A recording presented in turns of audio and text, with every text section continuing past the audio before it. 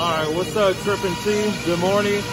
All right, so the issue that we were having was that uh, we were losing power and the lights would be going out, in and out.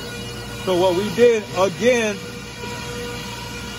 is this side right here had too many uh, stuff plugged in, so we unplugged the ones for the light, and we took the the connection and we put it on this side right here on connection three. That was connection six.